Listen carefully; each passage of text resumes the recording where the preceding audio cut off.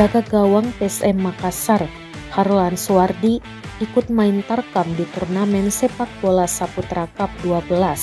Turnamen ini berlangsung di lapangan sepak bola Desa Salutubu, Kecamatan Walendrang Utara, Kabupaten Luwu, Sulawesi Selatan.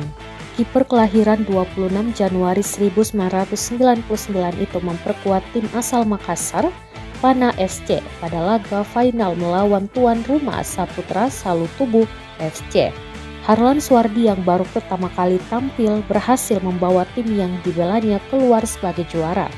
Usai Pana FC menumpangkan Saputra FC dengan skor 2-0.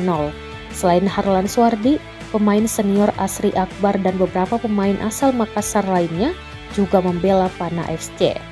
Saputra FC pada laga ini juga diperkuat sejumlah pemain asal Makassar. Mereka dikombinasikan dengan pemain lokal, Salut Tubuh FC. Di antaranya ada mantan pemain PSM Makassar dan Barito Putra Fatul Rahman serta Kante hingga Haidir. Khusus Harlan Suwardi penampilannya mendapat pujian dari banyak penonton.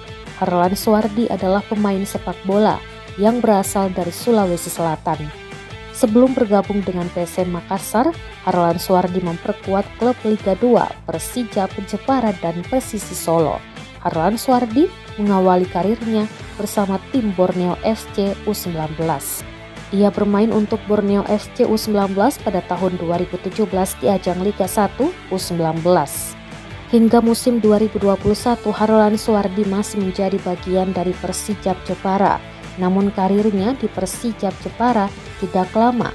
Ia kemudian dipinang Persis Solo dan musim ini memperkuat PSM Makassar.